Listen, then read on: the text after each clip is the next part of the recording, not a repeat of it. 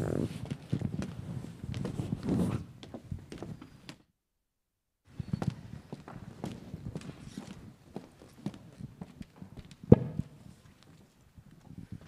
think we will have a small video.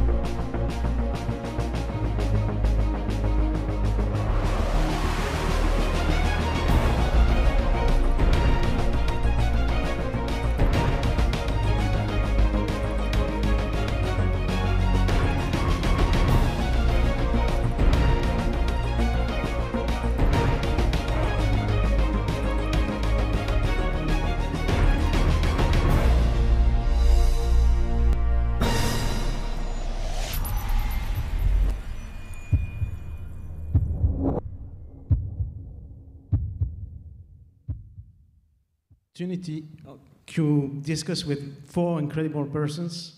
And uh, uh, I think it's high time uh, to uh, have a, a, view of the strategic importance of human space flight. And it's going to be the main topics of this today discussion with uh, our four astronauts. Before this, uh, I know we have a, a little surprise for, for you all with uh, a flag. Uh, that is, uh, uh, you may have a look to a screen, I guess.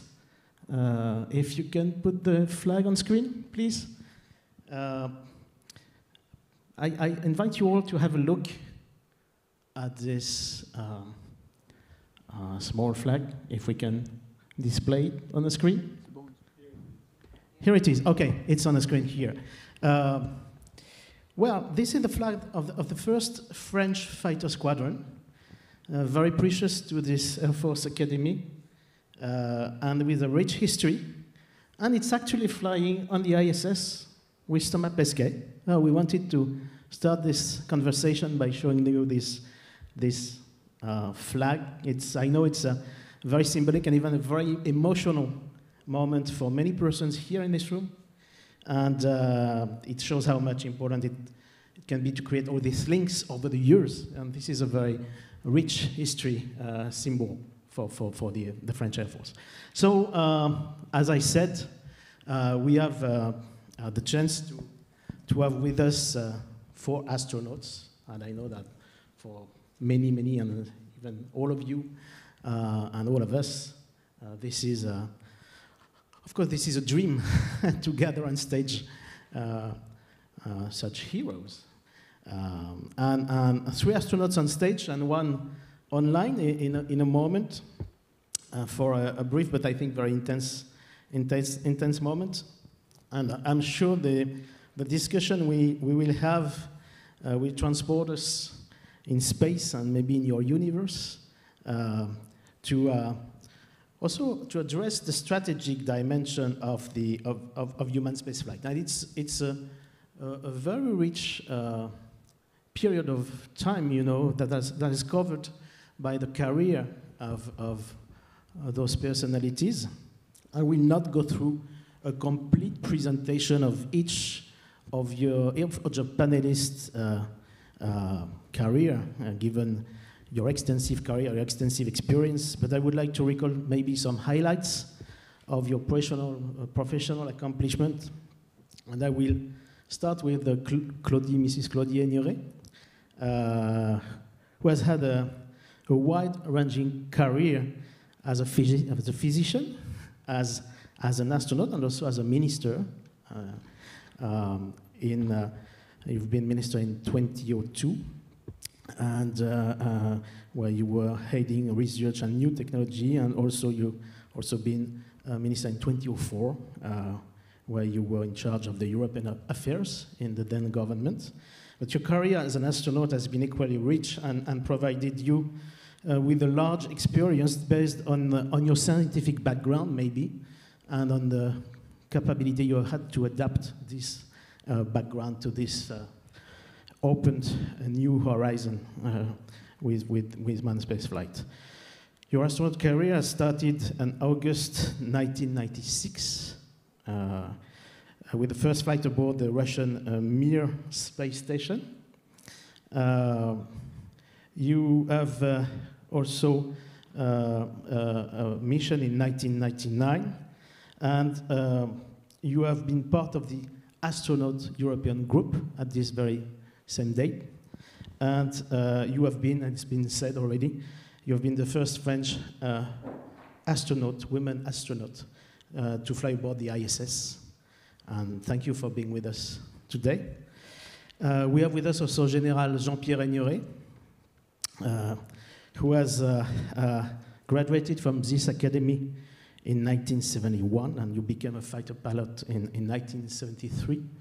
And uh, as early as 1985, you have been selected as an astronaut for the French Space Agency CNES, and uh, you integrated the Hermes, the then Hermes program, the French program for developing a human-rated uh, space vehicle uh, at this time.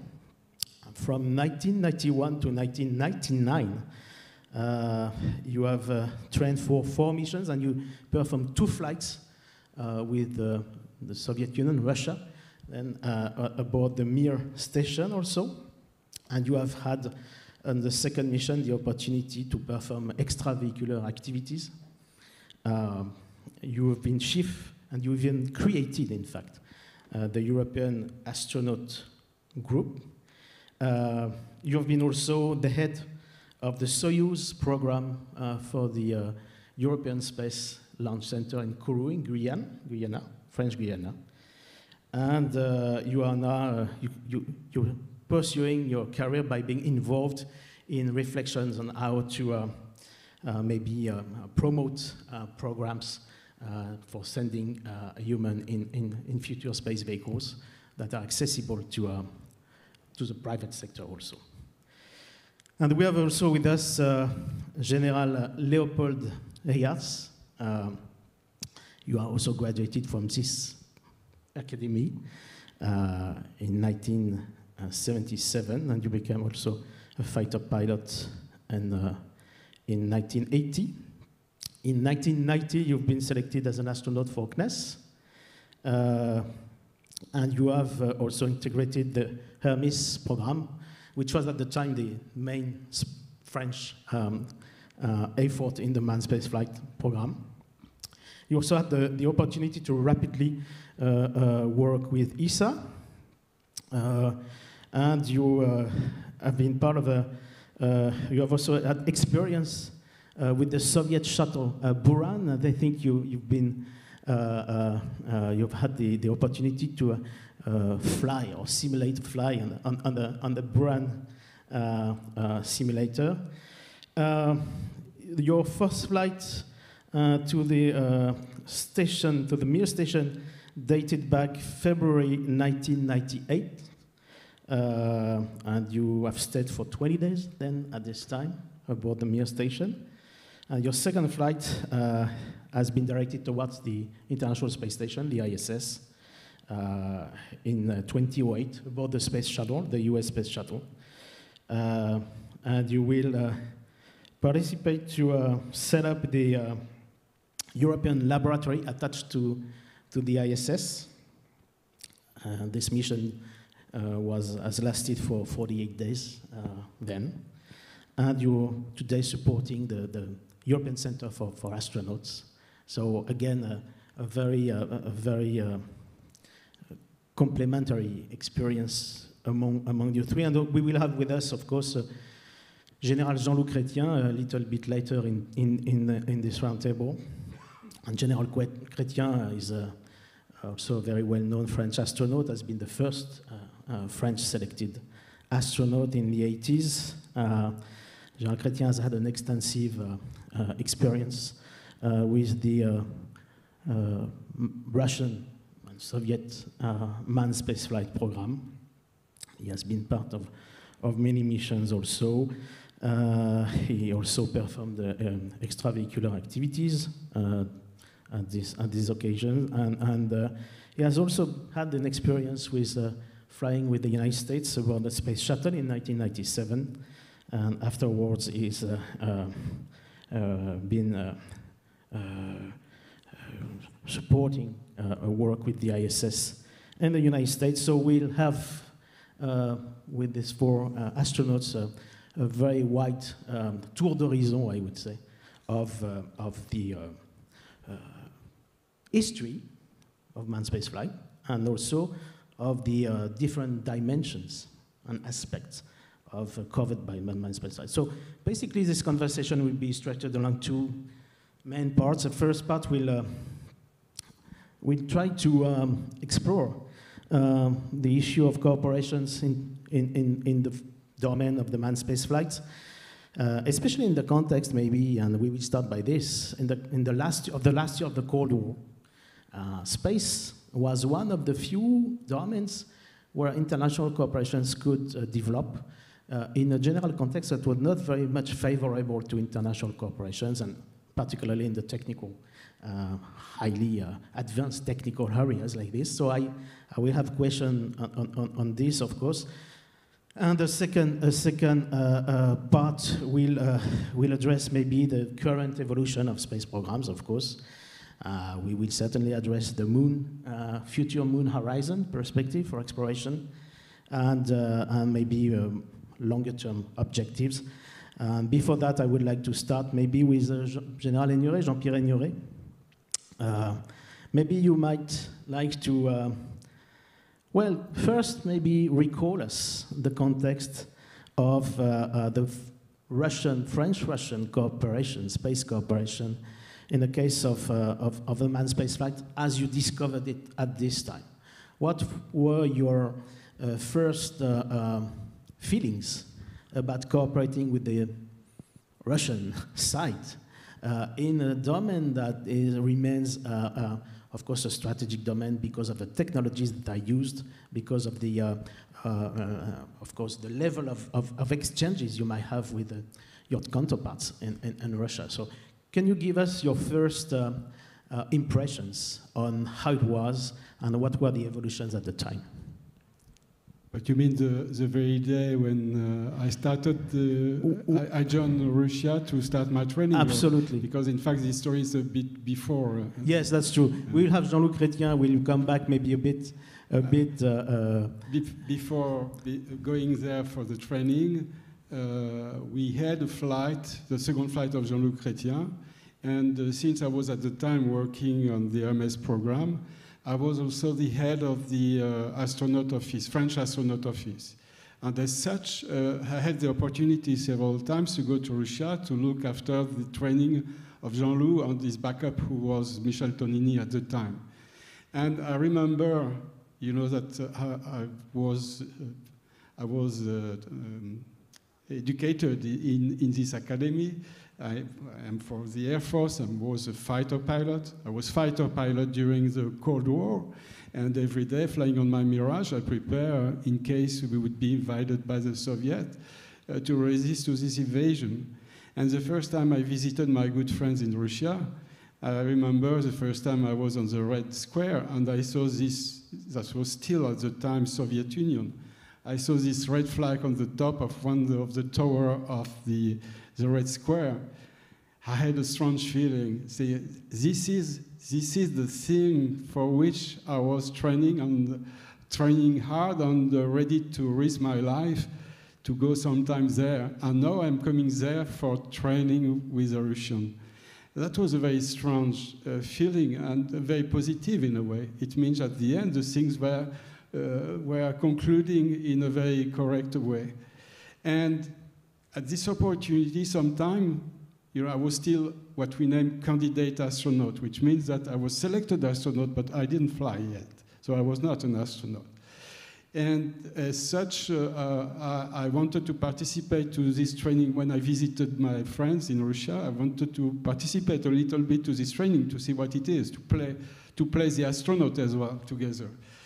And I remember having training sport around the stadium uh, in uh, Star City, the training center of the cosmonaut, where, and they had a sports session and we were making cross around and they had a, lieutenant colonel of the, uh, of the Red Army as a sportive trainer who was, was uh, running uh, behind me. And I remember when I was a fighter pilot in Colmar, we were training for uh, what we name evasion, circuit evasion, in case we would uh, bail out uh, be behind the line. And I say, and at the time I was very often to encourage me running they run, run like if you have a, a red soldier before, be, behind you. And this is exactly what happened at the time. So it was a very strange uh, feeling. Besides that, what uh, people don't uh, realize uh, very much when they see uh, astronauts at the TV making uh, salto and bubbles with the water, they think it's all fun. but the time we spend in space also, I had the chance to spend a little bit more time than usual. The time you spend in space is small compared to the training. And being an astronaut mainly is being behind a chair and uh, listening a Russian uh, uh, instructor telling you how to, uh, whatever, or the Russian technology. that doesn't answer your question about Russian technology. I, that was your intention. Russian technology, you know, is uh, very different, but in a way uh, very comfortable, at least the one we were trained on, a Soyuz uh, spacecraft, Soyuz system. It is very much like, uh, I don't know if you know what is a matryoshka. Matryoshka is a, this thing of puppets that you, you buy and you open the puppet and you have a smaller one uh, endlessly. The Soyuz system is matched in such a way the most sophisticated layer is outside. But if this sophisticated, sophisticated layer, which is more likely to, to fail, fail, then you go in the second is the next uh, layer, which is not as comfortable as performant, but still makes the mission. And you have several, if you, I'm not going to describe the technical system of the Soyuz, but it is very much designed in such a way compared to Western technology like the shuttle, but also the Airbus and Ariane 5 at the time, which is based on the concept of multiplex, which means that in case of failure, you have another system exactly the same, which runs at the same time together, and a, a third one, and the last secours, as we say, uh, with the inconvenience that if, if the first fail because of a concept, uh, uh, concept problem, the second, the second system is going to fail as well. Is exactly what happened for the first flight of Ariane 5, for instance. Uh, uh, not speaking of the concept uh, uh of the engines themselves, rocket engine, which are using liquid kerosene and liquid oxygen, which is very comfortable because at any time if there is a problem on the rocket, you can shut the valves. There are three valves. If only one of the three is, is closed, that shut, shut off the engine mm -hmm. and then eject the crew that can be recovered safely on the ground. So if it's com comfortable, not in a way you feel like in a limousine, huh? sure, certainly not, but it's very comfortable in terms of, of, safety. And uh, I like it. Also, the ergonomy is not uh, the best quality of the system. It's very difficult. It needs a lot, a lot of training. But it's valuable for the one, you know, like uh, we, we have before us uh, many uh, future pilots, maybe already pilots. But the more attractive, more interesting aircraft are the ones who, who are not easy, who, who defend themselves. And when you succeed in mastering the bit, you are very proud of you. And that was, in the way, the case of Soyuz, valuable. So, in a sense, um, Russian space was used to uh, work in a degraded mode, in, in default mode, and with the uh, you know, uh, alternative uh, possibilities to go more deeply inside the system itself, maybe in a less user-friendly manner, but it's still workable at some point, and this is uh, a particularity you feel like of the of the at this time at least of the of the Russian space uh, philosophy in a sense. And uh, Claudie Haigneré, on your side, you have had an experience uh, both as an astronaut but also as a scientist, and you have extensively worked with uh, your Russian counterparts. And what, what kind of feelings do you have when you think uh, of, of these years as uh, in terms of uh, how the, this international cooperation, you know, help you better understand maybe and uh, better characterize how all this was working? Okay. Uh, I'm really happy to be with, uh, with you today, and I think we are, three of us, a little bit witnesses of the 20th century, and uh, I would say Apollo generation some, somewhere. And uh, I had this privilege to see a lot of changes. Um, I arrived in 92 for my first training, and my first flight was in, in 96. In 92, it was just a transition between USSR and uh, Russia, uh, with the French-Russian cooperation in a military environment. I was not a military uh, candidate and astronaut at the, at the time. And um, then I had the chance to see scientific cooperation, operational cooperation, step by step, I would say. There was trust and confidence between French teams and the Russian teams. And then came the first European astronaut working there in the Euromir mission. It was in, uh, in 95. And then I had the chance during my mission in 96 in the Mir station to be with a crew that came with a shuttle. It was the first shuttle Mir so that means, on the operational point of view, you can imagine something, a, a big change in the system. And then we enter in this cooperation to develop the International Space Station. So that's really a landscape that is uh, changing a lot. So that means it's not purely a scientific adventure, technological adventure. That's also a human adventure with all this uh, relation. And it, it was really interesting. Uh, on the field of um, science, I would say that for me, the International Space Station and the cooperation that we have uh, with our partners, and still now, and I hope for the future, we'll speak about Moon and, uh, and Mars, uh, is an ISS is really a fantastic diplomatic tool. That means that we are able to work together even if there is some political stresses, uh, always with different uh, spaceships. So now we have SpaceX, but for a long, long time it has been just a Soyuz vehicle able to uh, carry crew uh, in orbit. And uh, with um, sharing the data, sharing the protocols for the experiment, sharing the training too, and Laura said that very well, uh, that uh, she trained also Russian cosmonauts as well as Canadian with David. Jacques we have seen, or uh, American and other, other people. So really we work on the same experiment, we share the data, we try to think in terms of uh, acquiring new knowledge, but also preparing for the future. The two of the objectives for the, the scientific program board.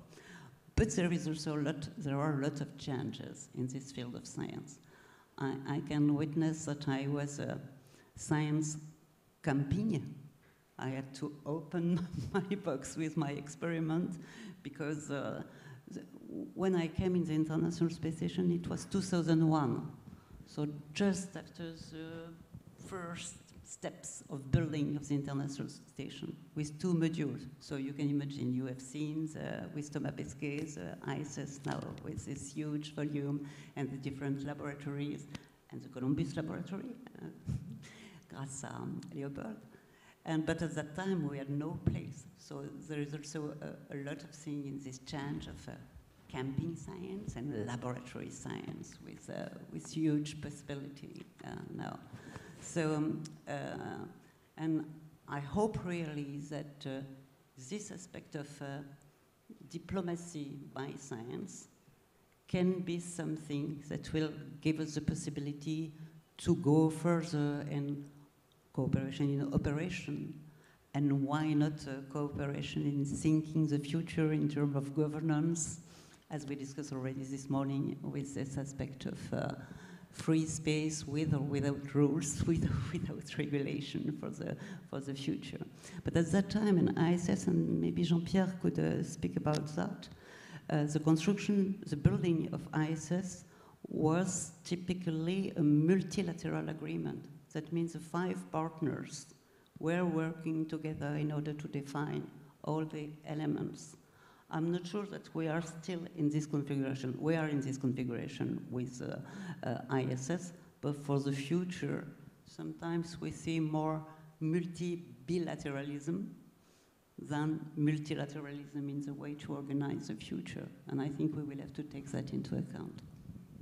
For sure, for, for all of us observers of uh, space, uh, the International Space Station remains the largest genuinely international uh, project, whether space or non-space, by the way, uh, involving a large, uh, a, a, large amount of money, involving a, a, long duration of time, and many, many different partners.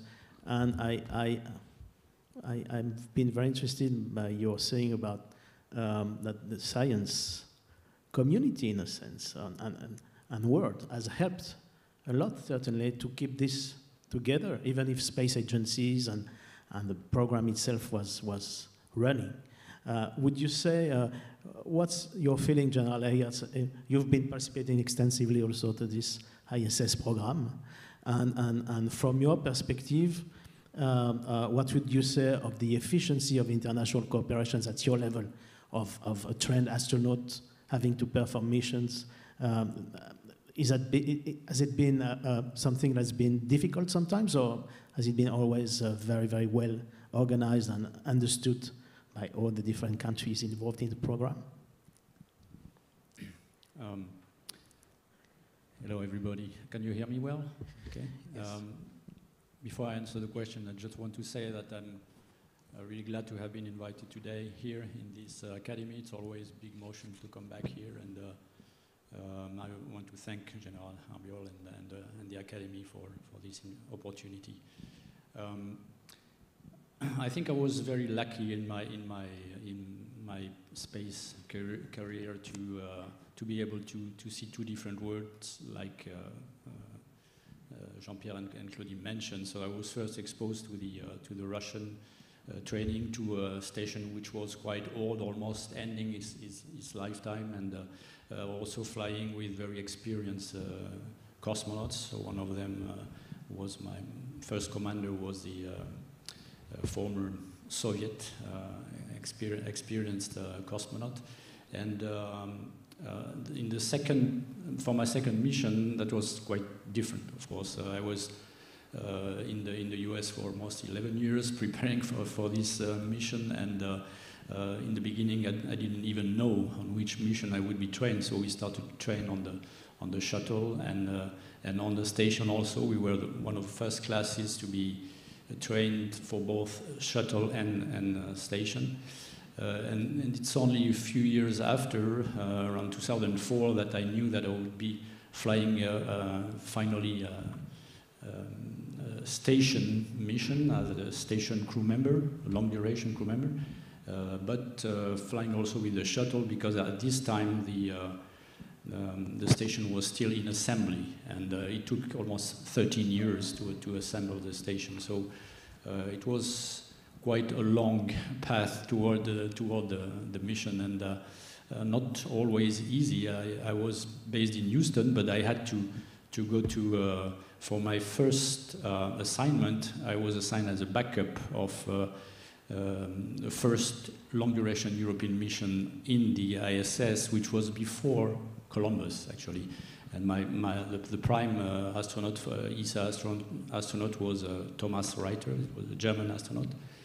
And I was his backup. And so I had to, to go and train with him in Russia when I was based in, in Houston. And uh, we spent a long, long time, uh, long, long weeks, and almost sometimes months in, the, in Moscow, um, and training both in, uh, in, um, in Moscow and, and in Houston mainly. Uh, but I, I, remember these times were quite hard from a, um, I mean, um, fatigue standpoint, from a, um, also from a family standpoint, because uh, I was also uh, away, uh, but in, in, the Air Force, you know that, of course, but uh, for for long long uh, long a long time away from uh, from home and uh, but of course that was a tremendous I learned tremendously during during these times during these four years of training um, on, the, on the, the, Russian side, on the US side, of course, on the European elements also the, that we were carrying to the, to the station and uh, delivering and assembling. So that was the complete, completely different, of course, environment and ecosystem that I was exposed to in, in these two uh, mission and, and two trainings. But uh, it was very uh, rewarding, actually. Uh, I'm, I'm curious to know uh, you just mentioned the fact that a carrier, an astronaut carrier, is made of highlights in a station and a lot of training time for many years. Uh, did you experience, maybe some of you, uh, the, the, differences over the years of the relationship between, let's say, for example, France and, and, the Soviet Union and Russia at this time? Did you experience some uncertainty due to this, or, or would you say that you have been from the very start of your training until the the first flight, you, you, there were no, no, was no doubt that you would fly aboard the station or Mir station. Or uh, do you have a, an element of the political relationship uh, that might uh, that might have disturbed at some point or create uncertainties for you as an astronaut? I, th I think that uh, in the uh, 80s uh, and uh, beginning of the 90s, we were not sure of flying even after having been selected. And that was, of course, uh, always something which was you had to, to live with, and, uh, and it was not always fun, of course. But uh, uh, fortunately, there was, I think, a good um, political continuation in the in the relationship, uh, bilateral relationship between France and uh, and the Soviet Union first, but uh, Russia after, to be able to to um, negotiate more uh, fly more missions with the, with the Russians. And uh, uh, but when I I, remember that, Claudie, correct me if I'm wrong, but when we started the training in 95, so you were assigned for the 96 mission, the, uh, the next mission was not decided at that time. It was decided a little bit after, if I remember well. And that was the same for the mission that Jean-Pierre flew, the long duration mission. Yeah. So that was the uncertainties of these times. But then this changed, of course, with the, uh, with the European Space Agency and the integration of all the uh, national astronauts in the, in the European Space Agency. So this became very different because then there was a uh, better perspective of, of missions. And even if, unfortunately, that would mean also less missions overall for, for French astronauts, but that's part of the deal. Yes, Claudie. Yes, we, we have entered, and, and Laura maybe can uh, complete. Um, in, with this multilateral, multilateral agreement with uh, the different partners for ISS, in um, uh, not a game, but entre guillemets, a game of barter in order to exchange, for example, the Columbus module or uh, other elements that we will add as an added value from the contribution of Europe to the general project. And with this kind of barter, we can barter uh, crew time and crew presence on board. And that means it works pretty well because the European astronauts, you see one, sometimes two European astronauts on board the ISS per year. And you know that uh, even for the next step, for the cislunar and the gateway uh, around the, the moon, we know already that there is three flight opportunities. We don't know exactly on the surface of the moon, but I think we are in negotiation for, um, for that. And I'm sure that you're all aware that uh, there is a selection, an ESA astronaut selection. Uh, you are too young, I think, for be the candidate for this one, but uh, in some years from now there will be an, an, another one. And um, so we are preparing the, the next generation, maybe avec more certainty that flight opportunity will be there for them. But uh, even when you are a candidate, and then when you are still not, not yet assigned to a mission, I think one of the elements of a character of an astronaut is to be motivated and to be perseverant, determined in, a, in order to, to go further. So that means you are not sure, but you do the best. You extract the best of yourself in order to, to, to be on, the, uh, on this path. And uh, yes, we have been lucky. It was not completely planned like that, but we had two flights opportunity uh, on, with a long duration flight, uh, flew on two different stations, you flew with two different vehicles. No, so. And um, we were talking about the 80s, and, and Jean-Pierre, you have been involved uh, at a very high level in the Hermes uh, French program. Can you tell uh, us more about the uh, conception of this program and a, bit of its history. Why was it so much importance for France at this time uh, to develop such a program? Uh, yes, that was. In fact, we have together with uh, not, not, Leopold, who was selected before, but we're together selected in in '85 uh, across a, a, long process.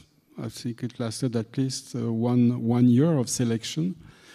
And uh, when the result came out with uh, seven uh, astronauts selected for scientific pro profile and uh, three uh, pilot and, and engineer, uh, we were selected, but nothing behind. There was no to join the, the previous conversation. We didn't have flight opportunity registered anyway to to convert this selection as an astronaut as an astronaut who fly.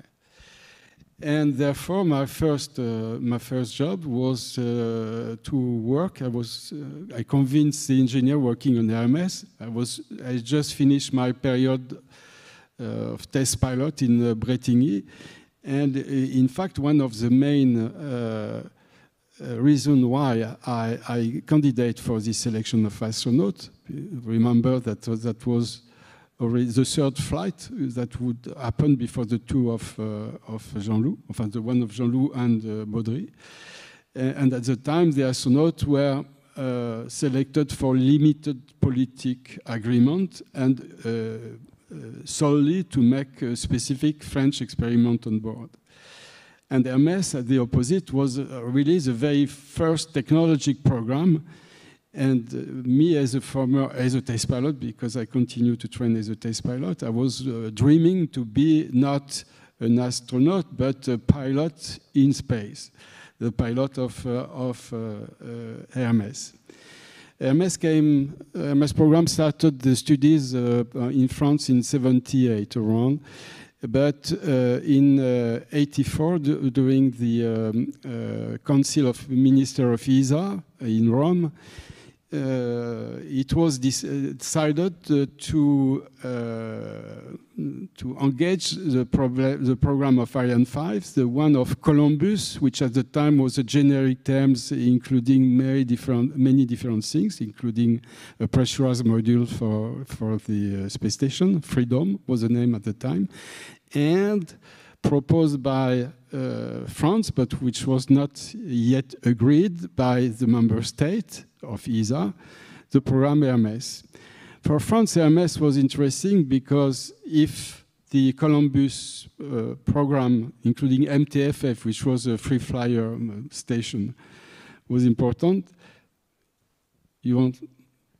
Yes, I think as we have, a, I think, a, a, small window for connecting with Jean-Loup. Yes. And we will, of course, uh, follow up on the very interesting... I don't want to burn the turn of my big job, big boss. but I think we have uh, Jean-Loup Chrétien, oh. Général Chrétien with us online, so I will, Let's of course, then. give him the floor because I know he's very uh, constrained by, by schedule. So uh, please, Général Chrétien, you have the floor. Welcome. Oh We can't hear you. Uh, just, we have a, can we have the sound, please? Okay. Do you, can you hear us? Yes? I can hear you. I okay. don't know if you hear me. We can, we can hear you now. Thank you. You have the floor. Okay. But do we have to speak, do we have to speak English or French? It's going to be in English because we have a number of uh, uh, uh, foreign guests with us. Okay, I have a text to read, which is ready in French. I did not prepare it in English, so can I uh, can I say that a few words to the people of the Air Force Academy in, uh, in French? Okay. Okay and then we can shift in English for some maybe little exchanges. Please, go ahead. En français, si vous voulez. Okay, donc en français. After that, I will go back to English language with the American accent. See, I flag French and US okay, cooperation. Bonsoir mes amis. Des circonstances exceptionnelles me privent du plaisir d'être physiquement parmi vous ce soir. Je tiens néanmoins à venir vous saluer et saluer cette grande école qui fut la mienne de 1959 à 1961, une grande dame. J'ai beaucoup appris sous l'aile de grands noms de notre histoire et le commandement vivant de grands chefs, eux aussi, entrés dans l'histoire de l'air et de l'espace.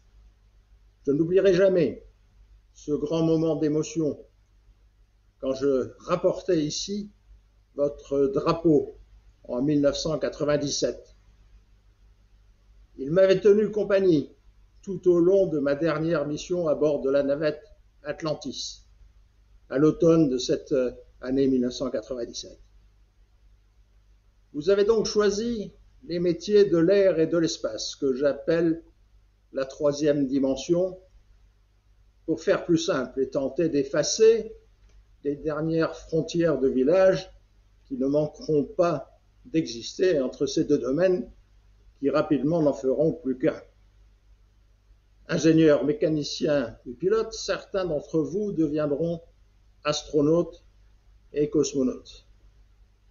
Vous volerez plus haut physiquement, mais moralement, vous, nous, volons à la même altitude, celle des grands rêves devenus réalité devenue votre, notre mission. Ces missions un jour vous conduiront loin, très loin. Vous serez alors livré à vous-même face à un destin parfois empli de tourments et de dangers auxquels vous ferez face, souvent seul. Vous vous souviendrez alors du maillon fragile que vous êtes dans cette chaîne essentielle à l'avenir de l'humanité. Un maillon précédé de ceux de vos anciens, vite devenus désuets, tant sont rapides les enchaînements du progrès. Vous serez alors encore plus conscient de la force, de la solidité de cette chaîne, de, la solidarité de ces maillons. Et vous accomplirez votre mission avec passion et dévouement, en toute simplicité. Et c'est dans cette simplicité que vous affronterez si souvent l'inconnu et les dangers. Et vous rappellerez de votre devise, de notre devise, faire face. Voilà, bonsoir à tous. Merci, mon général. Just, on a juste une question pour vous qui est apparue sur l'écran ici et venant d'une audience très très large en réalité. Elle est formulée en anglais. La question est la suivante. What is the greatest memory you have of your whole astronaut career? Uh, what is the greatest memory? Okay, you can imagine that we have a lot of events in uh, memory. Uh, among them, the most fascinating one was the extravehicular activity. And uh, six hours in outer space, that's something you cannot forget going around the Earth many times. I let you do the calculation. You should be able to do that. And uh, looking at Earth and being able to see a lot of details on the surface of the planet, this is something that you cannot forget. So probably in my memory, one of the most fascinating events. Thank you, thank you for this. Uh, uh, thank you for this intervention also. I know that there are a lot of questions in the room, certainly. Uh, we have opportunity to discuss, uh, of course, there's uh, certainly this um, incredible activity. You have been the first to, to perform for, for, for France. I have another question also for you, which is, well, what are in your eyes the main strategic issues, strategic issues associated with human spaceflight? Would you say that this is a strategic domain? The time is going fast, and we have a tendency to forget about that and to stop by very easily. Again, time is going fast. We have started space exploration already for more than half of a century and we want to go further down. And the main problems that we will face during the extension of this exploration phase is the unification of the needs and, uh, and the tools on Earth to go further and further down, looking back at our planet that will be just a small point in the sky and forgetting and having to forget that we come from different countries. We will come from Earth. Right now, it's not important. We are flying at 400 kilometers over the surface of Earth. Pretty soon we'll be flying on the moon. That's already much more, 300,000. And I hope that some days we'll be flying on Mars and maybe, maybe somewhere else in the solar system. But again, the main challenge is to be able to uni unite our efforts and to be looking at space from one planet, planet Earth, from one country, and uh, that has resolved most of its uh, problems. Mm. And, and, maybe a last question. Uh, looking forward, as you just said, I have a question, uh, which is this one who is going to build the next spaceship to the next mission to the moon? Do we have an idea of the technology, uh, of what the tech which technologies will be retained for this? Uh, what is your take on, uh, on, on future technological accomplishments for going to the moon? So, right now I'm working in uh, Houston, six months a year, uh, close to NASA, and I can say that uh, Johnson Space Center, but of course the rest of uh, NASA, plus contractors, are working hard on the next goal, which is to land on the moon in a few years. It was 2024. It's supposed to be 2024, but most of us know already that this won't be possible. But we might be very close to, to that date. And uh, the tools to get there are in development. We, we have the knowledge for everything. We, we don't need to do a lot of research to be able to land on the moon uh, that soon. The biggest problem that we didn't have, that people did not have in at the time of Apollo, is the money, the budget. We need to do it with the actual budget, which is a little bit more than 20,000 uh, billion, 20 billions of uh, dollars, and uh, this this is uh, tricky. With that, it's quite difficult to to fulfill uh, that uh, that program, but we, we can do it. Okay, and, and maybe the very last question. It's been asked in French, but I will try to formulate it in English. It's very much related to the academy today. Uh, how much your training here at the Air Force Academy has been important for you in your astronaut career? And I will may ask I may ask this also to other panelists here. How much important it has been for you to to be trained here, to be a pilot uh, to become an astronaut? The Air Force Academy, all of us joined the Air Force Academy in their 19, 20 years old. That's very young at the time um, in life when you can be very easily formatted. And that's what happened. The Air Force Academy at that time, and I, I guess it's the same now, I'm sure it's the same now, is giving you the best tools to face your professional life.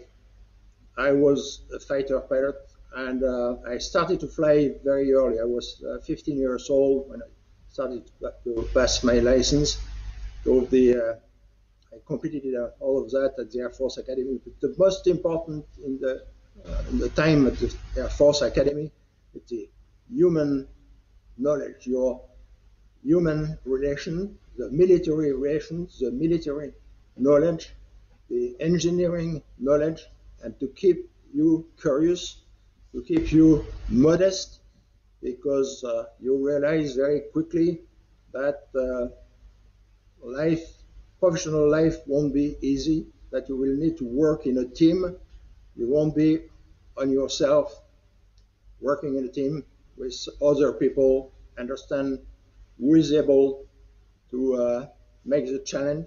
People will be better than you. You will be better than others, and understand that's a teamwork, and uh, give the hand every time you feel that uh, you you won't be the best. That's not very easy for a fighter pilot.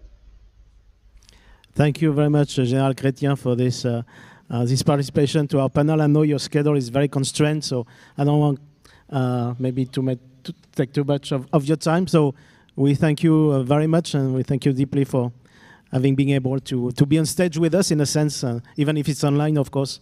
So uh, uh, thank you very much, General Chrétien, for your participation.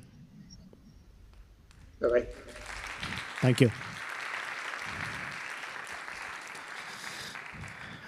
And I may have the same question maybe for the two persons who have, and we will go back to Hermes, by the way, but because to follow up on this, uh, the, the, the, importance of having been trained uh, as a fighter pilot uh, for becoming an astronaut, even if uh, Mrs. Haigneré has not been trained as a, as a fighter pilot, you have had a scientific career which may bring another perspective to the astronaut career. What, what would you say, uh, Jean-Pierre?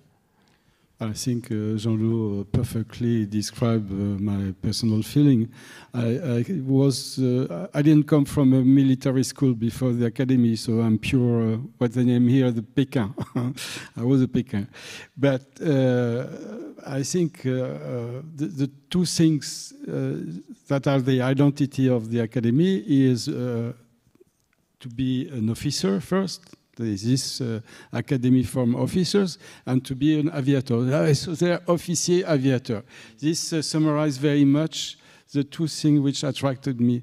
What means uh, uh being an officer uh, and what do we learn in our military uh, training is spirit, the team spirit, the respect of the mission, the the obstination to reach the results the uh, mutual support, uh, uh, sense of discipline, so certainly, and all the satisfaction, satisfaction that you receive of, by observing these rules. you are always you feel comfortable in your body when you follow these simple rules, and that helps you so very often to solve problem which seems uh, uh, complex at first uh, view, and that thanks to this team spirit, the respect of the others, the possibility to work and complete together, helps you to very often we said the people coming from from the force, uh, especially the Air Force, I would say, because uh, a fighter pilot is some very often uh, at the end alone to solve the problems that have been prepared by the other. But th this is a particularity of, of this academy, I think, beside the academics, which is giving some culture engineer culture. It's very important to have this engineer culture. It helps you very much in the life as well. It's really a job of passion with a high personal involvement. In fact, uh, I think you you would just repeat maybe what has just been said about this link with the academy uh, on your side.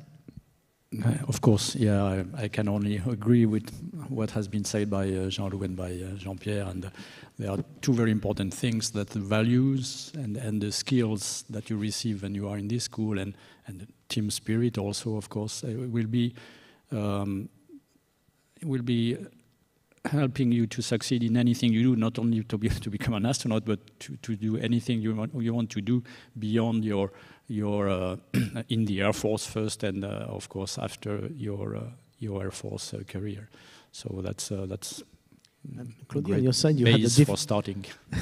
a slightly different career. If, if I may, uh, it, it's um, uh, I think you can find this kind of uh, value in other domains too, and I'm so proud to be a medical doctor, to be a scientist, and the truth that this team working is also something. The exigence, the excellence, the reasoning, and the quality of the implementation. I think we share that for our careers as an astronaut, and we learn that in different uh, entities. But uh, yeah. I, I, think that's important to, to try to be, to faire face, mm -hmm. because uh, for sure, may I, as a colonel of Réseau ADER, to say faire face, uh, appropriation to, uh, and to, to be able to cope with yeah. complex situation that you have encountered in other other field too. And uh, I learned that, but uh, I think that during the training, I became not a member of an academy, but I learned a lot. That's always a growing process when you learn and you learn. I'm sure that you learn also something. But we learn flying as well. You don't learn flying. that makes a difference. Yes. To be a pilot is something very important. Absolutely. Okay. So there is a corporate uh, dimension to that. Uh, I just wanted uh, uh, to remind the audience, in fact, I forgot to say it, that in fact you can ask questions by using uh, the following uh, mail address, email address, which is séminaire espace at école dash air.fr you might use, so it's Séminaire Espace, it's completely uh, joined at uh, école dash air.fr. You might use this web address to ask a question that will be sent to me on this screen. We are using uh, several systems, you know, it's a complex uh, thing, but it's working, so please don't hesitate. Um, I wanted to come back on this Hermes thing because uh, it's something that's personally uh, I've, I've, I've, been of a lot of interest to me. Um, this program, and maybe uh, um, uh, Jean-Elias, you can also understand this, as as as uh, has has been uh, envisioned on the long term. There has been a a, a lot of uh, political involvement behind it, and yeah, there is a context as well. The context, Yes. the context is the uh, on one side for the German it was PASS labs. PASS labs that was a pressurized module that uh, were supposed to be installed in the cargo bay of the shuttle and in which uh, uh, the uh, scientific uh, some experiments. Uh, this uh, space lab had been designed by the German and uh, they were uh, a bit troubled or not uh, completely satisfied by the fact that they couldn't share the result, scientific result inside, and the IP as well, the, uh, the uh, intellectual property of uh, what they designed. And uh, on one side, on the other side, on Europe, we uh, had Ariane, which started to be very successful. We already ca- catch uh, 50% of the free market of satellite, of launch uh, satellite. Uh, in CNES, I remember in '85, uh, the people were very, very um, ecstatic about what they were doing, a bit aggressive in a way, or, or uh, arrogant in a way, because uh, Ariane uh, had a success because the shuttle was not a success as a satellite launcher. But uh, uh, shuttle took off the first time in 81. That was my first time in Boscombe-Down, I remember. And in this context, uh, and also the uh, political context was Mitterrand, whose brother, Robert Mitterrand, had been uh, head of the Aerospatiale. Mm. So, uh, for the first time, with the German, like the French, agree on uh, the necessity to uh, get some autonomy, access to space for manned flight, uh, un peu grisé, hein, uh, by, by, the result, by the success of uh, Ariane. Besides that, the industry wanted very much to experiment the hypersonic regime. Uh, Onera has worked hard on, uh, on this context uh, in Stato reactor as well, uh, scramjet. Uh, they made the theoretical uh, studies on, uh, on the code of hypersonic reentry in the Earth, but we didn't have um, how to say this theoretical theoretical code had to be validated by the experience, and therefore the field of research around a space plane was something which excited at the same time the industry. CNES uh, has an offer in the European theater and to get the autonomy of access uh, to space, and politically, uh, when the, the success of the shuttle guided the engineer of CNES to do something comparable but different. So the, the American had their autobus, aut- car, autocar, and uh, uh, Hermes would be the taxi, bringing three people in space. And the interest also, operational interest of Hermes, is that it would be a client for Ariane 5. Because the problem we have in Europe is when we have launchers, we don't have enough uh, institutional launches to cover the necessary number uh, uh, to uh, maintain uh, une chaîne de montage, comme on dit, un, an assembly, uh, uh, an assembly. Uh, so everything was going very well together. The only problem is that Ariane 5 didn't uh, work much together because the concept was to consider that the base of Ariane 5 would be the engine, and you could do with this engine either the automatic flights with automatic satellite as a satellite launcher, or if you remove the satellite, you put Hermes on the top and uh, you perform this is now the engine of, uh, of a space plane. That was uh, charming. The only problem is that uh, Ariane 5 had in priority to be designed for the automatic mission because uh, in fact, the root of the uh, uh, political intention be behind, the, behind this uh, different object is to have, thanks to a launcher, a free access to space, especially for military uh, uh, uh, institutional satellites. Therefore, the design of Ariane 5, and in particular, the performance in, in terms of ton delivered in low Earth orbit was guided by the uh, market of uh, geostationary satellites. And the director of uh, Ariane 5, who was Mr. Vignel at the time, we visited him very often to ask him more performance. We needed 25 ton in orbit to design a, a working space plane. And they started to offer us 18. Uh, and finally, uh, they hardly promised 23, but at the end, for, for different reasons, uh, we uh, uh, never get the performance which was necessary to, to lead the operation of the space plane. We were, we say, in negative payload something very cr crazy in terms of aeronautics because when you build an aircraft, between the first uh, uh, theoretical weight of the aircraft at the beginning, if you uh, look at the curve in the time, is only increase, permanently increase. When we start from negative, you, you can never reach uh, the goal. And besides that, uh, we had in 87 the accident of Challenger, and that was really uh, destructive for the program because uh, for, uh, for Hermes, for, for Hermes, yes, we, um, it was supposed that the booster on Ariane 5, there are two big boosters on the cryogenic engine named Vulcain. The two boosters, when you light the booster, you cannot stop it. There is no way.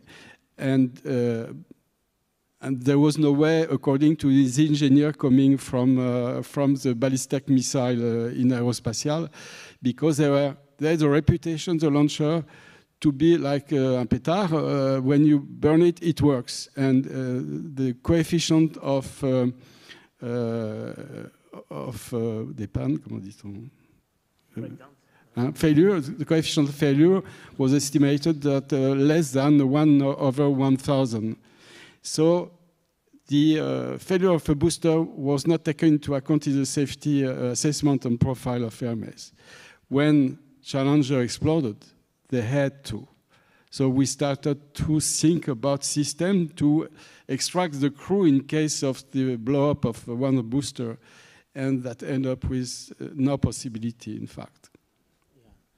But, and this is a question for you all, the fact that in this particular case, France gave up the idea of an autonomous uh, human-rated feel that today? Do you feel like we are, this has shaped, uh, in a sense, the European space program of today? Uh, do you feel like it may have been done and then it would have changed the whole uh, roles, place of Europe, maybe as a partner in the ISS or, or not at all? Uh, how do you assess this uh, historical decision in a sense? Maybe Claudie. it's a general question, I know. Okay, no, speaking, for example, of this uh, next steps that will be uh, around the moon and on the surface of the moon. What is the place of Europe uh, in, in, in that field? And it was a question about this strategic component of human spaceflight. I, I think for me, there is there something strategic. Um, it concerns the future of humanity that will go beyond through exploration, and we know that it's already there. There is a rush to the moon, maybe a moon race, but a rush to the moon in the in the next future. And we know that this kind of mission are costly. That that means that we need to do that in cooperation, or maybe with different uh, field cooperation and a blue and a red uh, as exercise for tomorrow. Um, maybe you will have to choose, or maybe you can be the mediator in, in between the two, uh, the two elements. So uh, I think if um, we want to be part of the discussion, of the negotiation, of the rules, um, of this uh, element of the future of humanity. That's one step, and uh, this path will be also a path for later on for uh, for Mars. If you are not in, or if you are a junior partner, I would say, it will be difficult to be around the table of a, a negotiation and really contributing. So that's why I hope that we may have a European vision and a European um, contribution can be access to space, human, uh, human rated access, can be something else, can be energy, can be uh, logistic, it can be a communication, I don't know. But something that is not just um, a junior partnership, but a true partnership, an essential partnership. And for that, uh, uh, I think that's strategic, not just for human spaceflight, but for the voice of uh, Europe and for France uh, in that. Uh, and I think um, we need to, to put that on the table and to be sure that we have enough ambition to be there further. Thank you. Yes, Jean-Pierre, you wanted to add some. Your, your very question, uh, what, do you, what did you feel at the, uh, at the end of Hermes program? Uh, we felt, I felt, at the time uh, I was already starting my first training in Russia. Uh, I, I, felt uh, not much surprised because when permanently we never reached a, positive payload you know so from and i admire the morale of the director of program who beside every evidence started to trust in his program and uh, try to find solutions. That was mr uh, uh, Couillard at the time excellent director.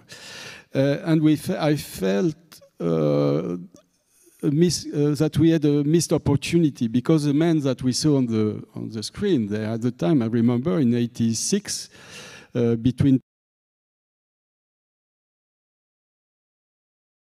82 flight, 1982, he uh, uh, proposed when we saw that he, because there, there was other problem besides that to put a wing at the top of a rocket is something which is a bit crazy because a rocket is uh, basically unstable. If you add profiles which uh, reinforce the unstable character of the rocket, uh, it starts to be very difficult, and we had problem with that. So we had a proposal to do a capsule, re reusable capsule, more or less what uh, Elon Musk is doing now. And we could use all the materials, the carbon-carbon nose uh, that was designed for Hermes, we could use it for a capsule. And if we had made the capsule, we could have reached the program within uh, the uh, price envelope, obviously, because it's far less difficult uh, to build than a space plane. And today, or at least uh, this uh, last year, we would have the Europe the continent who uh, were bringing the US uh, astronaut uh, into the space station rather than by Russian Soyuz. So that was really a missed opportunity for mostly political reason. Yes, even uh, maybe a diplomatic missed opportunity. I, maybe, uh, Jean you want to add a word on this and you have the same feeling? Being um, I think we cannot stress enough the importance of cooperation in this, especially as far as human spaceflight is concerned, because these programs are very expensive. And uh, uh, today, uh, there is no country, no single, single country which can afford uh, to go alone to the moon or to go alone to Mars or whatever. Um, so cooperation is very important. And I think that's what the uh, International Space Station program demonstrated that uh, uh, this is a key of su success today. It was able to bring together countries like the US and, and, and Russia, and uh, of course the, the, Japanese and Europeans and Canadians, and and uh, this has been also the base for for the future uh, lunar station. Even if there are a lot of uncertainties, I think, in my opinion, frankly, on on on the uh, current state of this uh, lunar and or um, Artemis program. Uh, very often, big programs are the choice of one uh, government or one administration. And I think that uh, continuing on cooperation. Uh, in my opinion, the uh, the choice which has been made for, for instance, for the for the lunar gateway, the this lunar station, to continue the cooperation between the the, the, um, the partners of the International Space Station was the right one. uh, one of the problem I think will be a problem, uh, um, will be a, um, a, risk for this program in the future is to superimpose on on top of this the uh, Artemis Artemis program, and uh, this could bring to uh, some difficulties in terms of partnership and in terms of cost also, even if we bring the the commercial partners in addition. So we'll see what, what the future will say, but uh, yeah, I think that uh, continuing on with reasonable objectives, reasonable budgets in cooperation is the key to, to, to make these programs sustainable. Thank you. Um, I will now shift to the questions because we have many, as you can imagine. And I will try to group some of those questions, and coming, I think, from this room and from elsewhere, maybe on the YouTube. Uh, so I, I just mentioned the question. At least three of us in this, in the assembly, uh, uh, are um, dedicated to become astronauts. So do you have any tips for us? Thanks a lot. And I have another question close to this one.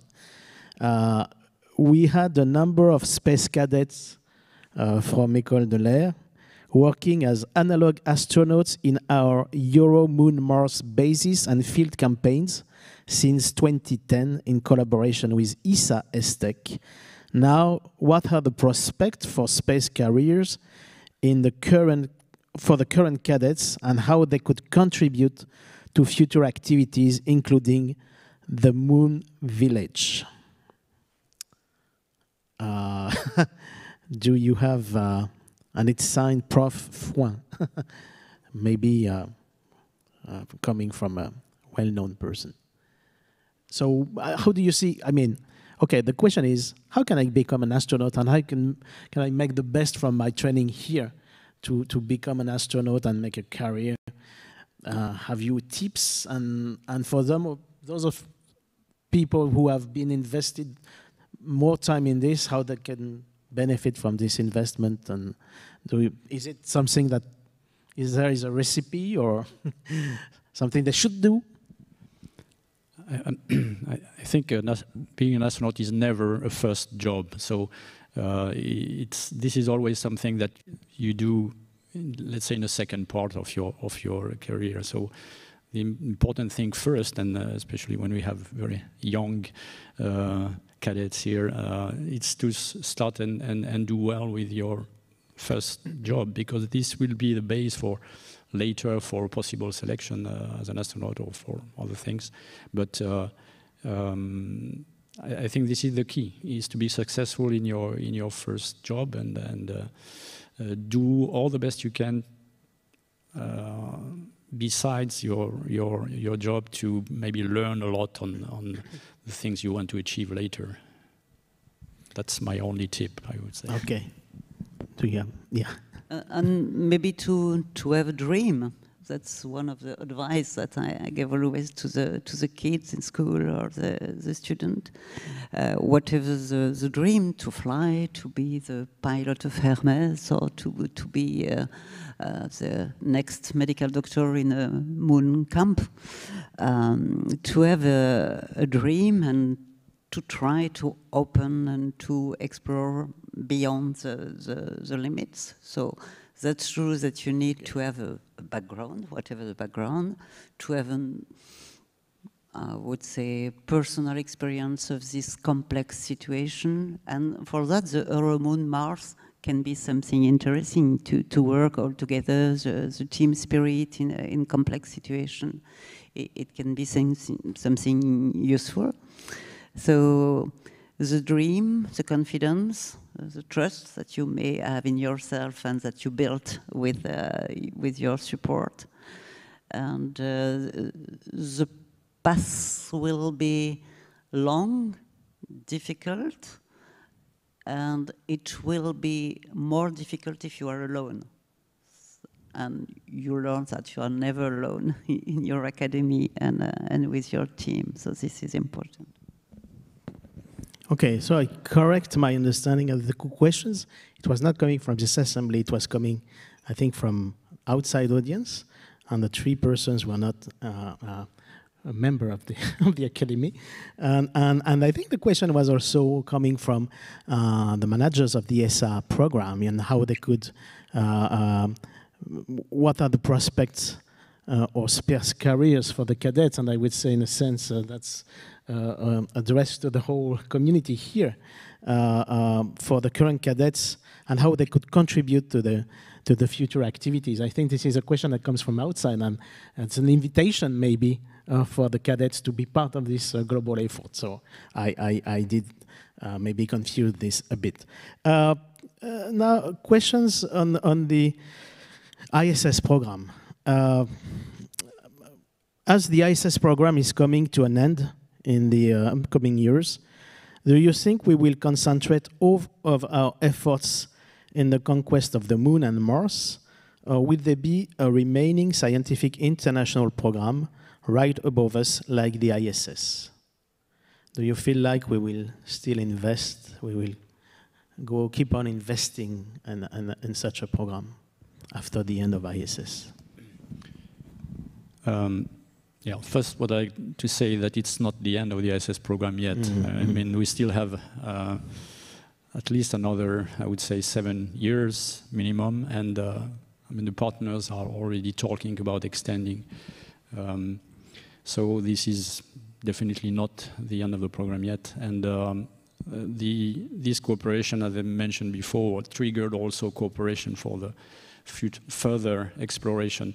But the question I would be raising is that um, uh, going to the moon um, does not prevent us from doing some uh, still science in the future around the Earth. We, we don't need to go to the moon to do, for instance, uh, microgravity, uh, fundamental science, or uh, some human research on uh, the microgravity effects in the, in the future either. So I, I'm, I'm, convinced that there might be a, follow-on to, the, to this, to this low Earth orbit station in the future. The problem is to find out what it will be. It will certainly be less expensive that, or less uh, big in, in terms of architecture that uh, the ISS is, but there will be certainly a continuation.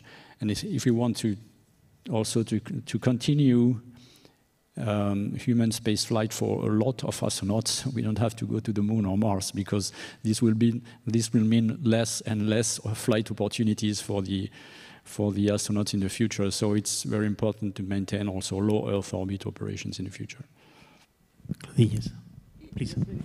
Going back to science in ISS, uh, I said that uh, uh, I practice uh, science camping, and now that it's science and laboratory, but also different condition. I think during the very beginning of the space station, there was not so much maybe coordination in the protocols in between the different partners. That means the reproducibility of the result was uh, difficult. And I've always uh, the question about specific physiological effect on women in long duration spaceflight. I say, we have no results about that because we have two or three subjects with the same protocol. So that's also the methodology of, of, of science. And at that time, because we was not able to collect the, the precise result, it was a descriptive period, I would say. It was description of the effect on the body, the description of the effect on the fluid or combustion.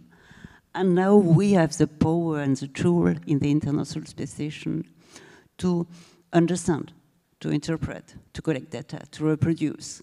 So that's not at all the same kind of science, and it would be a pity to to to leave the station. But for, we have more than uh, about 10 years, I hope, uh, working with uh, the laboratory, and maybe the future of the low Earth orbit will be also a complement of this institutional station, as we know it's ISS, with private part. I would not say commercial one, but maybe private because there is a lot of very, very interesting research to be done in microgravity that are not possible to do on Earth. And now, as we have the power and the tools to understand, to apply, to, to go further, I think that's really important. Yes, we have these new developments that might also affect this, this activity in lower orbit.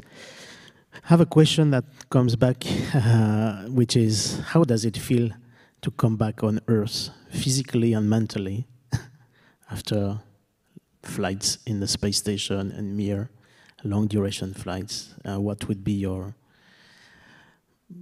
the feeling you might convey here? Um, it's important to have big target in life, but uh, when you reach one target, uh, you you cannot do again and again the same, and especially uh, when you go so high in your dream, in your dreams, uh, you know that uh, life afterwards uh, will be different, and I think it's important to prepare yourself be before to decide yourself what would be uh, your uh, last flight, space flight. This is comfortable. Everybody is not deciding that. Uh, has not this opportunity of doing it. But if you know, if you have decided, then uh, you can prepare what you are doing next. Personally, when I flew from my uh, uh, last long duration flight in Mir, and we were, by the way, we were the last uh, crew on Mir. We left uh, nobody behind us, and uh, Mir had 15 years in orbit at the time. So concerning the previous question, ISS has 20 years now. In 24, so 24 years. I'm not sure that taking into account the condition of Mir uh, when we left it, uh, I'm not sure that uh, ISS will go far beyond 24, frankly. Uh, but as far as I'm concerned, then before this flight, I applied for being the head of the astronaut office in, in Europe, and I knew perfectly what I was doing. And uh, almost as soon as uh, I was on the ground, also usually after six months of flight, you, you need sometimes to recover a little bit physically, uh, not mentally, uh, physically at least. My uh, German director, future director, was the director of the astronaut office, say, Mr. Engeret, we are waiting you in Cologne. that was almost the next day after my landing. We, we, are waiting you very hard. We want this job. You, you must be there next month. And then you, you think to the next. And uh, this is so true that I did uh, 1,000 slides. We were diapo uh, slides at the time. And I start looking at those slides three years later only, after the landing, because I had so much time to create this uh, function of head of the astronaut office that I, I, even didn't uh, have time and I didn't want much to think about what happened before. This is important. Do you want to add a word? But um, I, I, think that's really transform transformative experience you are not the same after the flight. Transformative for you and transformative also in the fact that the, le regard des autres, the, the way you appear and you are considered by the other will change. So you can decide that, okay, I have two flights, uh, it will be the, the last one. Uh, but you have also opportunities that will be offered to you because of this uh, change. And the change is, um, and, and, for me, it was uh, to be called to enter in the government of Jean-Pierre Raffarin under the presidency of uh, Jacques Chirac. I didn't decide at that time, but it was an opportunity offered after this uh, transformation. And um, something we did not uh, discuss at all, and I think that's something strategic somewhere, um, with uh, the overview effect. I'm sure that you know about the overview effect, the, the, fact that through the window you, you see the planet, so you are really uh, a human uh, person and no more uh, from just the earth, but also humanity. And you are also an ambassador after the flight, ambassador of the planet, ambassador of humanity, ambassador of cooperation, ambassador of science, and ambassador of the future. And um, okay, so it's not always you will decide something, you have always the, the choice. But sometimes you have new opportunities because of this uh, transformation of yourself and the, of the others. Talking about this overview effect, I heard astronauts several times mentioning the fact that when you see the thin layer of atmosphere, you become aware of the fragility of Earth and, and the fact that it's our spaceship in a sense. And did you have this kind of uh, awareness, maybe, of this? Uh, did it change the relationship you had with this, the consideration of a planet as our uh, protection, fragile protection against uh, outside threats? Uh, I'm sure there is something to do another seminar, another workshop next year about this uh, this transformation. And, uh, because really, I think when you are out of the box, for example, on the moon or around the moon, on in orbit, you may think different relation very, very differently relation with the planet, with the environment, with this fragility, but fragility of humanity, a relation with the assistance of uh, artificial intelligence, you said. So what will be in the future? Human assisted with artificial intelligence. Human and nature there will be no nature on the moon or on Mars. So there is a lot to think also about the, the next step expansion of uh, humanity, not to leave the planet. The planet is wonderful. That's something that we can witness through the window. I have questions keep keeping that keep coming. Uh, I will at some point we have to close this uh, panel, but still, I have two questions about Mars in a sense. Uh, how strategic, in your eyes, would be a human flight to Mars? And there is a compa companion question, I would say. If you would have the possibility to be part of the next Moon or even Mars mission in a few years, would you go and why? Difference between Moon and Mars. No for Mars, yes for the Moon. Okay.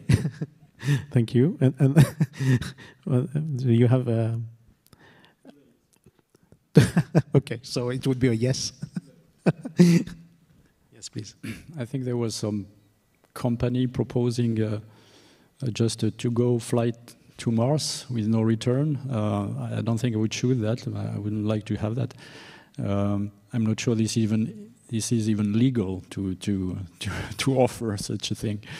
Um, but yeah, Mars is is very different thing for me. I, I think this is not nothing to do with the moon mission. Even if we can use the moon missions for learning things to go to Mars, Mars is, is, such a big step. I think that we we will not reach it soon or in the in the next 20 years even because this is too much of a step to to reach technologically. We don't even know for. Um, for a human survive, uh, survivability in this environment either.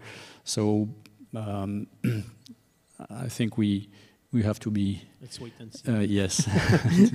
yes. Uh, I have Cautious. a question also that will I will translate. It's about the Starship. It's a specific, more specific question. Um, the, the person is uh, questioning himself about the um, the relevance of Starship as as a ship that would be chosen for going back to the moon, and uh, he's asking for your uh, feelings about using this kind of transportation system, and would would it be the only one, and there should be some others? Um, a couple SpaceX, of, uh, uh, Starship. A couple of years ago, I was asked to, to make a presentation on on the com comparing today's uh, operations in the ISS with future operations on the moon. And that was something I found very difficult, actually, because uh, we don't really know what this uh, future program will be. And uh, I told before about the Lunar Gateway and the Artemis program, and I'm not sure um, yet how these programs are going along together. So it's uh, very difficult to describe. But uh, again, I think the important thing will be to to have reasonable objectives. And, and uh, to, ask, to answer your question about Starship, this is one of the new developments. Uh, the, the, the, previous uh, American administration want to involve more commercial companies in the in the um, in the lunar missions, and uh, but uh, this is another development, and I'm not sure this will this will be really the the end of the of the story and uh, and the way the program will be uh, implemented. Uh, and this is my personal opinion, of course, not the opinion of I'm, Yes. I'm retired from the European Space Agency and from a French Space Agency, and so um, this is my personal opinion. But uh, I think we are far from knowing exactly what this moon program will be. Things go so fast these days that uh, it's a bit difficult to project now, in, even in the near future. Uh, I have another question on the Chinese. Uh, since the recent Chinese accomplishments, uh, future Chinese space station, uh, between parentheses, how would you consider the future cooperation with this nation? Moreover, considering the fact that the ISS is planned to be uh, um, to last only until 2024, 2028. Do you feel like the Chinese new interest for, well, it's not new interest, but in involvement, investment in uh, low Earth manned space flight, low Earth orbit manned space flight would be a, could be a, a replacement for cooperation?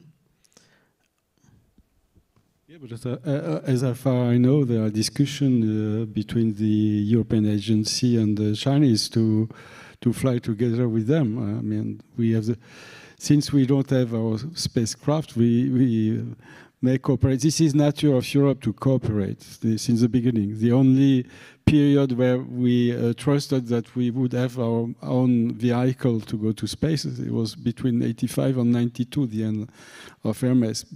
Uh, apart from that, uh, the uh, the key uh, posture of ESA in uh, space flight, in manned flight, is the cooperation, permanently cooperation. And why not we, with the Chinese? Uh, we, we have during the last 10, 20 years, we have in parallel had cooperation with the Russian and with the American, and why not the, the Chinese? If the American allow us to do it, which is still to be proven.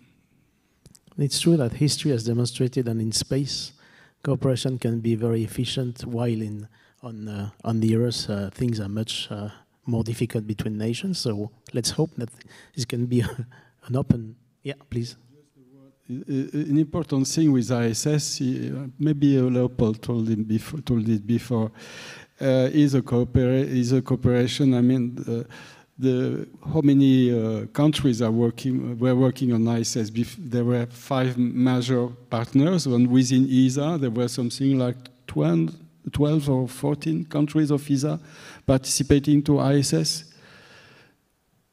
10, 10 so 10 plus 4, 14, 14 countries together, including Russian and Americans who were uh, enemy during the Cold War.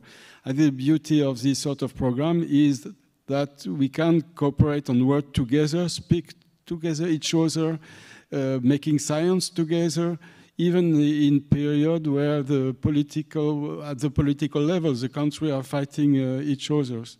That was the case, for instance, for uh, the first flight of uh, Jean-Loup, when uh, he had this uh, flight opportunity. That was a time when the Soviet invaded Afghanistan. And uh, there was a, a, big clash between Europe and France in particular with Mr. Giscard d'Estaing, who did not go for the launch of Jean-Loup at the time. But nevertheless, uh, we continue to cooperate. To uh, scientists were speaking together, leading experiment together. This is maybe if we can speak of strategy in terms of manned flight, this point is really a strategic approach, allowing people to work, to speak of science, to work, to share their culture together, and preparing a sort of future, technology and science. Yes, I think that's clear about the, the science, the cooperation about science. And we have already a lot of cooperation in uh, scientific mission, not on manned uh, mission, but a scientific mission in the solar system. I think maybe that's still in the operational cooperation. Even I'm not speaking about technological, but operational. That need we need really to build the, the trust, the, the, confidence in each other. And um, that's true. That's maybe it's not completely mature, as it has been said this uh, this morning with. Uh, non-information about the Long March 5 uh, return of the, the, first stage and uh, all, all, these elements. So still we have to work on it. Way to go, yes, still. And, and And so maybe the last question, uh, and even if we understand very well that astronauts are coming from very diverse horizon, whether from the military community, whether from scientific community, engineering community, we're here at, at the Air and Space Force Academy. And I have a question. Um, do you think that human presence in space can have any consequence on, um, from a military perspective? Can human space flight be the next step of fighter pilots? so maybe I guess this is directed towards our former cadets from this academy. And of course, it's uh, okay. It's uh, I don't know how to answer that exactly, but uh, I think there is no country today who has a real, I mean, who have fighter pilots in, in space, except in the in the movies maybe today. But uh, it will take a lot of time. I think one of uh, the important thing I, I mentioned before was budgets, of course, and, and this is critical. Uh, having uh, um, a space force with uh, with space, let's say, um, pilots or space crews and um, it will be very expensive and, uh, for any country, even for the for the U.S. or Russia, who are uh, usually the leaders in this area. So uh, I don't think it will come soon, but uh, it doesn't mean that space is not important for uh, for uh, air forces and, and, and for the military in general, of course. Thank you.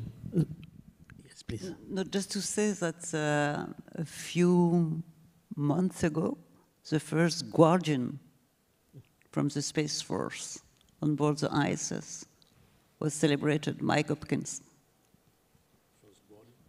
Guardian, it's the name of the Space Force. The, it's not fighters.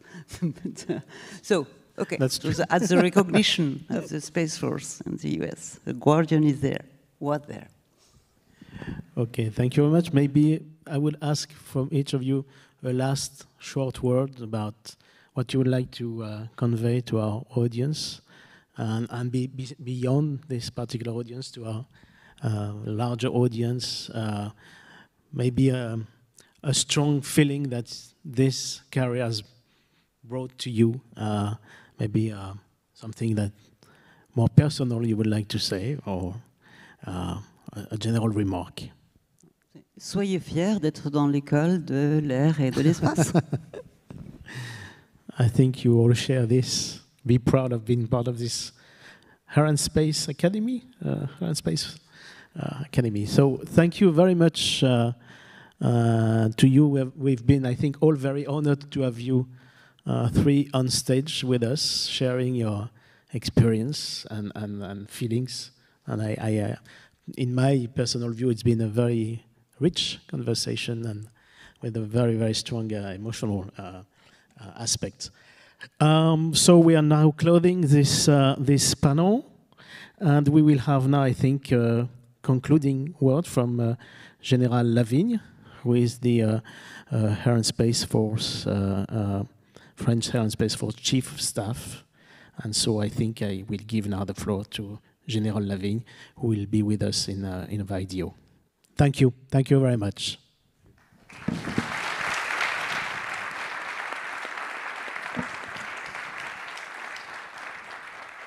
Ladies and gentlemen, dear participants to this seminar, I'm very pleased to talk to you this evening in front of such a prestigious audience to close this roundtable with our spacemen.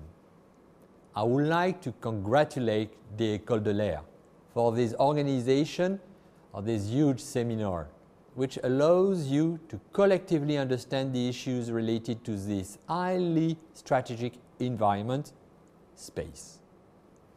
The seminar involves a large variety of high-level speakers in the space domain.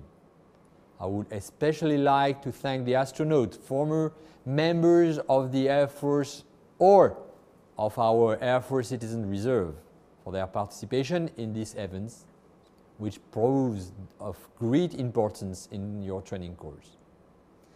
I would also like to salute the presence of students from Allied Air Forces School who are attending through video conference and whose presence bears witness to the strong ties that bind our Air Force.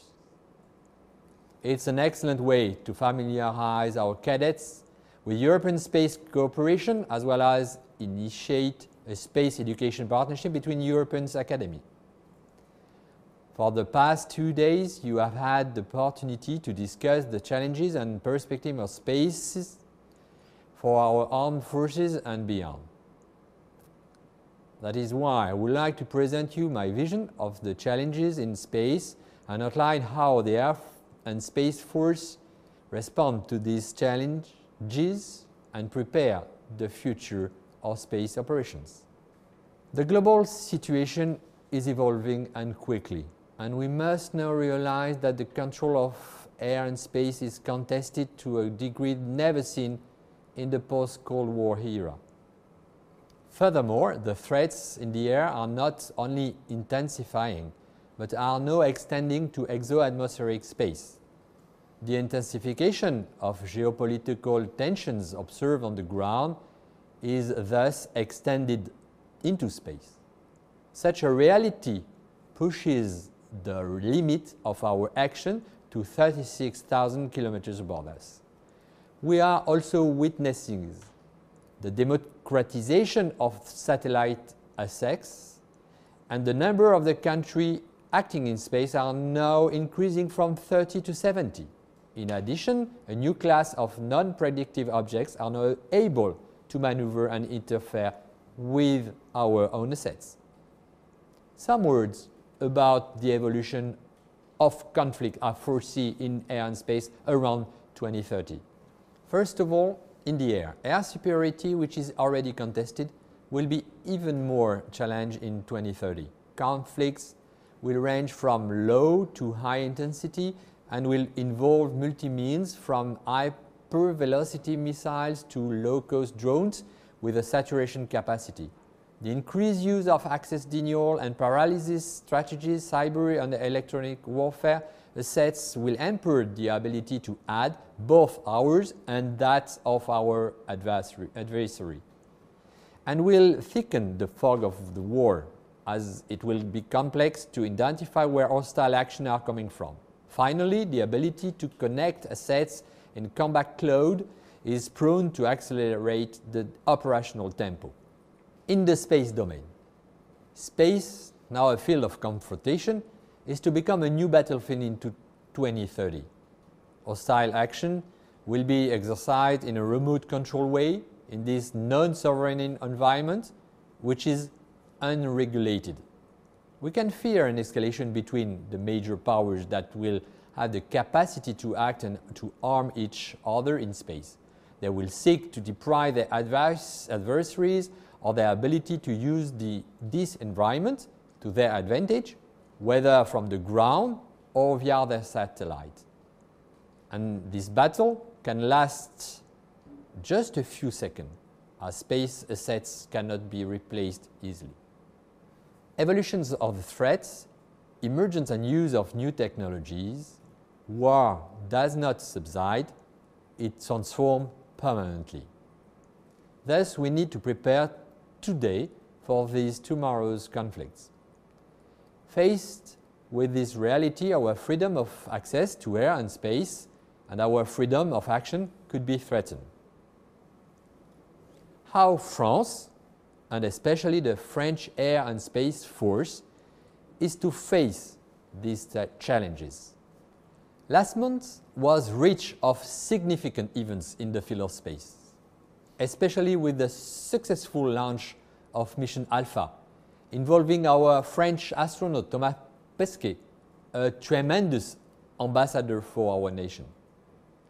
We are living in, in historic times in France, just as our institution and specifically with the transformation of the French Air Force into the French Air and Space Force.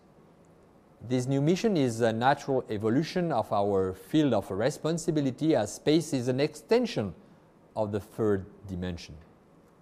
In outer space, our Air and Space Force has entered, as you know, in the implementation phase of the defense space strategy presented by the Minister of the Armed Forces on the 25th of July 2019 at Lyon-Montverdun Air Force Base. France's space strategy is ambitious.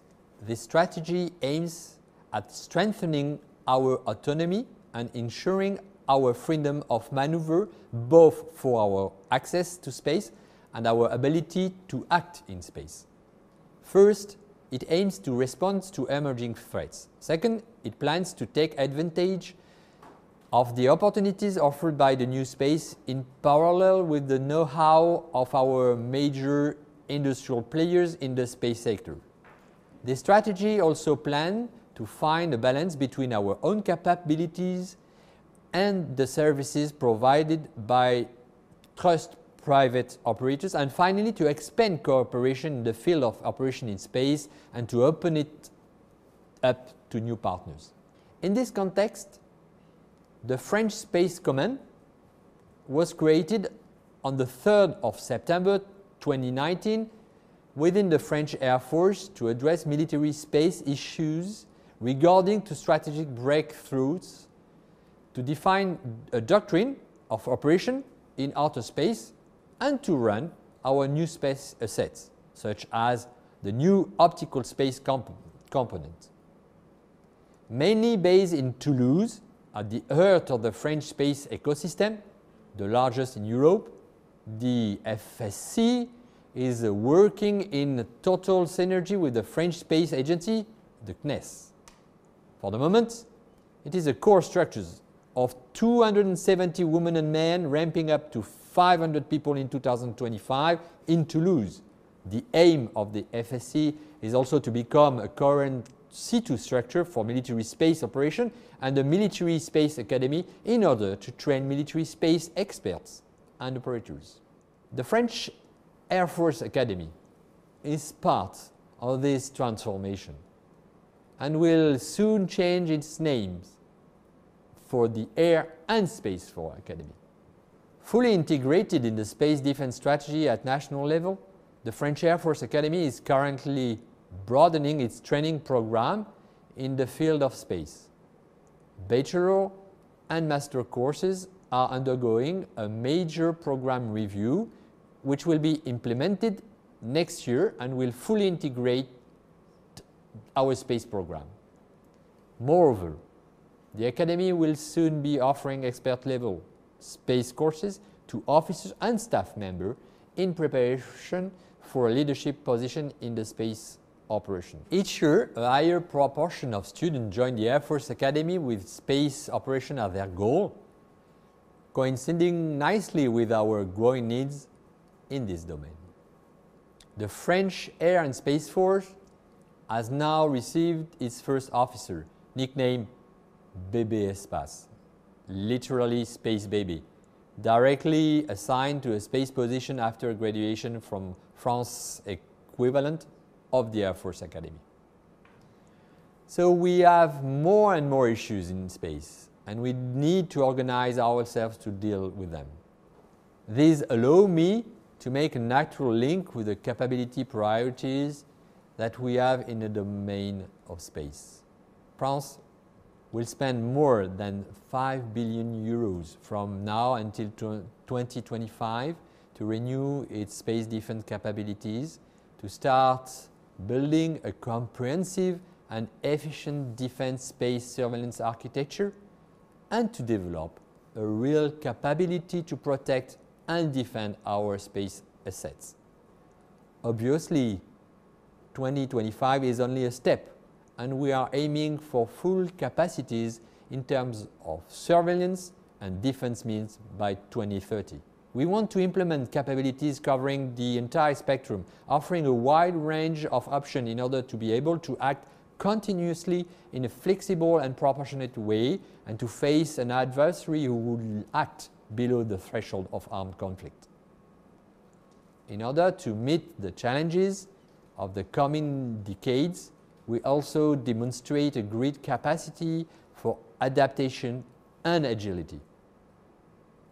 In space, we are developing innovative projects based on initiatives, including civilian ones, developed in the fast-growing field.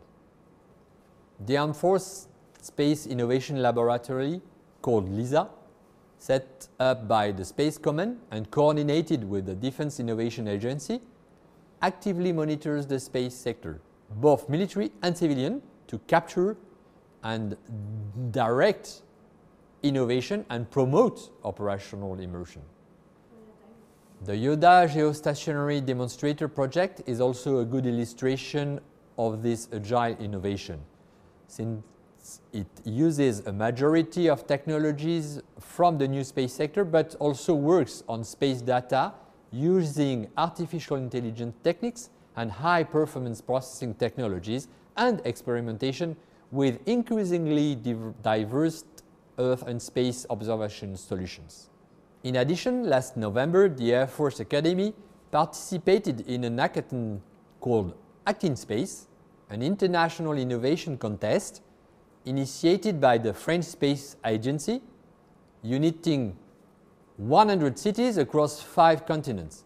This event, which took place for 24 hours non-stop, only in virtual, is the largest in the world in its category. It allows young people, often students, to imagine launching a startup by taking up a challenge proposed by CNES and its partner, ESA, Airbus. I would particularly like to congratulate the team of the first year Air Force students who were one of the three teams awarded a prize in this event. Congratulations for this result and for your commitment. I often say in the air, as on the ground, you never win alone. And this is even more true in space. The space domain is by essence transverse and highly conducive to cooperation. The reinforcement of cooperation in the field of space is a major challenge to guarantee a peaceful and a responsible use of space and to, to face emerging threats. In this perspective, France joined uh, the Combined Space Operations Initiative last year. In addition, NATO just approved Paris' request to create a new Center of Excellence for Space in Toulouse. Planned for this summer, this center will welcome 42 experts, which one-third of foreign officers in charge of doctrine, analysis, training, and exercises. We are also developing close ties with our training schools of our main partners in Europe, and the presence of some of them today bears witness to this. For example, we have interesting prospects with our British friends, such as to build part of our training programs for our young officers together, including an exchange of instructors. As such, the challenge between cadets project aims to have our students work together on a vision of air and space and air forces by 2040. In addition, as part of the EMILYO Officer Exchange Program, our military Erasmus in Europe, the Air Force Academy is contributing to set up an international semester taught in English with in, will include space-related courses. Cooperation in the field of education is thus a major issue in the space sector. This is also the case for operational preparation, and this leads me to say a few words about the AsterX exercise held last March in Toulouse. Indeed, France led its first multinational military space exercise last month with Germany, Italy, and the US, marking the country's efforts to reorganize its forces and operations to meet 21st century challenges. AsterX was a stress test for the country's space command processes and systems, a tactical exercise meant to train and prepare space combatants. AsterX simulated an international crisis with no less than 18 different space events and scenarios ranging from an attack on a French satellite to space debris threatening civilian population to an adversary jamming a light SATCOM. With the presence of foreign observers, the, the exercise uh, was also an opportunity to strengthen international cooperation, to move towards an increasing secure space environment in the service of freedom of action in space. I would like to conclude with the major challenges that I foresee for the Air and Space Force in the future in space.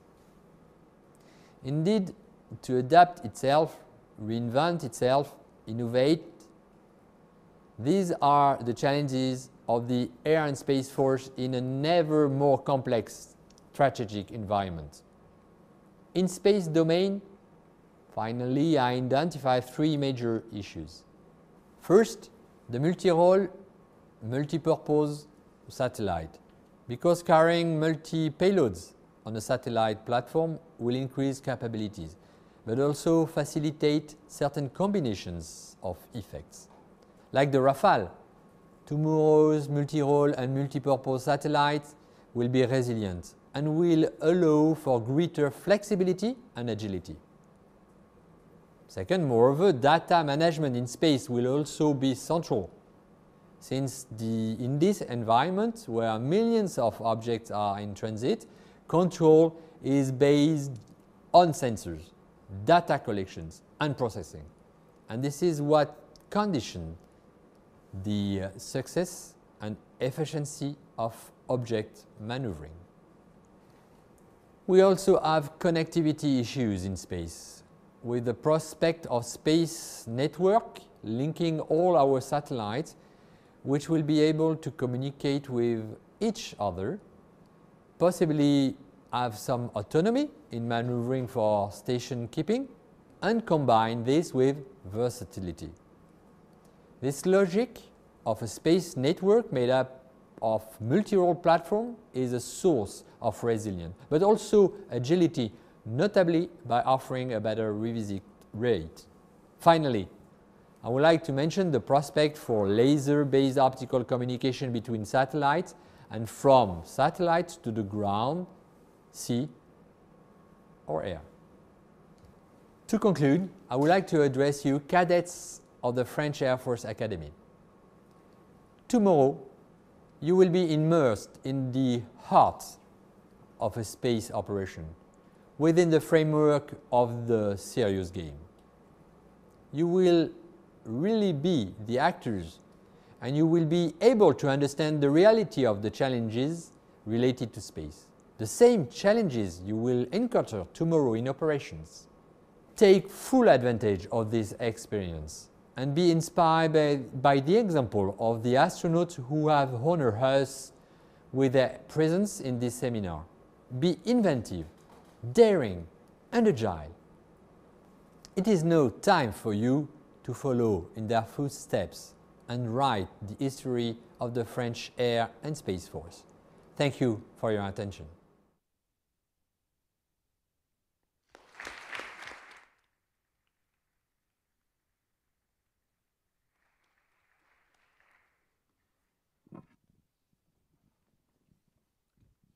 Thank you too.